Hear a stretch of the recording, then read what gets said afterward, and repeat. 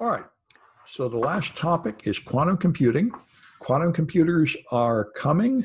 They don't do anything important right now, but in the next decade or two, they'll be coming and they will break RSA encryption and other things if they end up being reasonably accurate and cheap.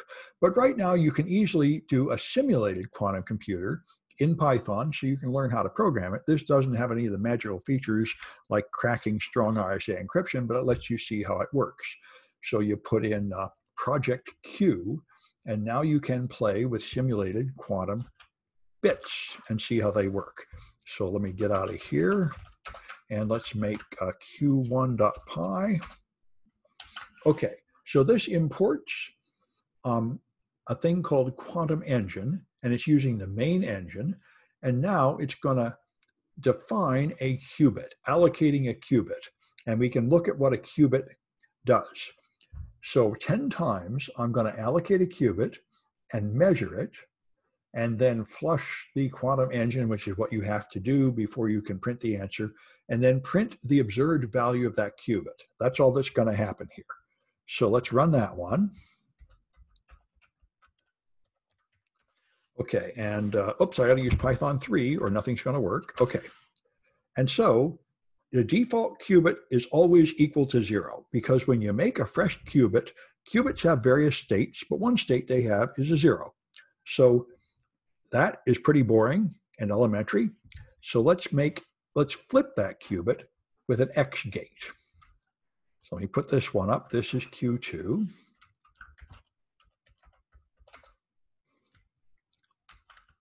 All right. And all that does is it creates 10 qubits and measures them. And then it creates another 10 qubits, but before measuring them, it runs them through an X operator, which I imported up here from the library, doing an X transformation. So let's run that one. And I got to run it with Python 3. Okay. So the X operator rotates at 180 degrees about the X axis, and that changes a zero to a one. So these qubits are doing just what normal bits do. Remember, normal computing bits are just zero or one, and that's all there is. And you can do that with qubits. You can use qubits as normal bits. In that case, it's just a total waste of time because they're far more expensive to build the hardware and far more complicated. But qubits do have the ability to encode a certain state of zero and a certain state of one. And that's all we've done here. But if that's all they could do, they'd be useless, no better than normal bits. The reason qubits are important is because of two essential properties, one called superposition and the other called entanglement. Those are the things that make qubits so powerful. So here's superposition. Let's put that in a file. And so here I import this thing called H, which is called a Hadamard gate. And then I just make 10 qubits and don't do anything, leave them the way they are, so they'll be at zero. And then I make another 10 qubits and I run them through the Hadamard gate, which rotates them by only 90 degrees, not 180 degrees. And we'll see what that does. Python 3, Q3. Okay, so I have the first thing, my qubits are all in state zero, but after running through the Hadamard gate, they are become uncertain. This is what's called a superposition state that is half state zero and half state one. So when you measure it, it will sometimes be one and sometimes be zero. You'll never see anything in between, and that's the crazy thing about quantum mechanics. When you measure something, you only see one value, but when you don't measure it, it's actually halfway between values and alternating or something uncertain, so you can't predict which value it'll be in. So if I run the program again, I get a different mixture of ones and zeros. It's just like flipping coins. It's different every time. It's a random process, but the superposition state has placed the qubit in an uncertain position partway between zero and one. And those uncertain states are what has the power to solve certain mathematical problems extremely fast. And you can connect them together with another property that you do not see. So normal bits do not have these uncertain states. And another thing they do not have is this property called entanglement. So let's play with that. This one here, you import this CNOT gate. The CNOT gate creates entanglement between two qubits. So I make two qubits, qubit one and qubit two. I run one of them through a Hadamard gate to make it uncertain. So it's now in a superposition state. And then I use entanglement to make a CNOT relationship between qubit one and qubit two. Now, if I did not do this, qubit two would just be a default qubit and it would always have the state of zero. But when I measure them, you're going to see that is not true. So let's see what this one does. Python 3 Q4. Okay, this is qubit 1 and qubit 2, qubit 1 and qubit 2, and you can see they're uncertain, but they're always the same. So they both are 1, or they're both 0, or they're both 1, or they're both 0. Every time you run it, it has a different random chance of being zeros and ones, but they're always together. So the second qubit would have just been zero, but it was entangled with the first one. So whatever the first one does, the second one goes along.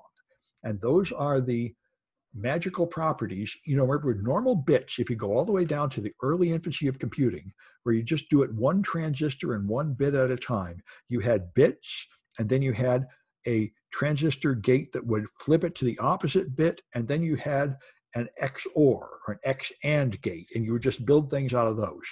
And in quantum mechanics, these fundamental operations are these H gates and X and Y gates. And this entanglement operation. So these might seem like weird relationships, but these are the fundamental operations you can use to do programming. And it turns out that these make it possible to solve certain problems much faster than classical computers. And you can actually print out pretty little diagrams here. So if you don't um, use, if you make your engine the drawing engine instead of the main engine, you can actually get these pretty um, PDF files that draw out your circuit diagram. So here's two bits that start at zero. Let me make this bigger for the video. Okay, here's, here's one that goes through a Hadamard gate and then they are entangled, which is what this, this symbol where you have a circle and a plus sign and a line connecting it to another bit, that's entanglement. So that's one setup here. Um, and if you have this symbol with a plus sign and a circle without the line, then it is an X gate, which is a rotation. So anyway, you can set up a few of these circuits and see them go and uh, understand how to do it, simulated in Python, so you get the rudiments of quantum computing, understanding how these fundamental operations go. And if you look at the uh, references here, you can see the code that actually does something important. Um, I think there's, this one here does this thing called quantum teleportation. And there's another one that actually factors component numbers into their primes. It gets pretty mind boggling. Um, but here's one that does a representation of quantum teleportation. These are measurements and so on. And someplace in here, we've actually got one that does um, this is Shor's algorithm for factoring. That's what it, I think this is it.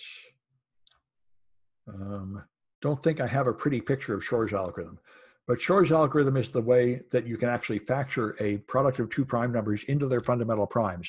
No, no hardware exists right now to do it for really long public keys that are used in strong RSA. But if the number of qubits in a quantum computer go up a lot and their accuracy goes up a lot, which we imagine will happen over the next few decades, there will come a time when they can crack RSA and we'll have to switch to different public key systems, which are currently in development. All right.